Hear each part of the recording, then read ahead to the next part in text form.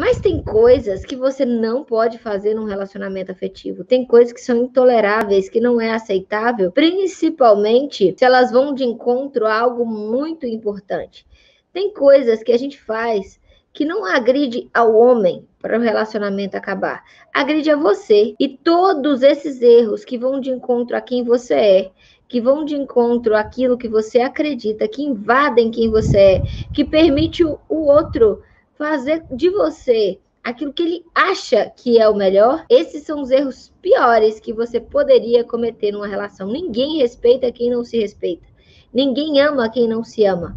Ninguém ama aquilo que não admira. Um relacionamento não vai ser duradouro se você não construir a base dele.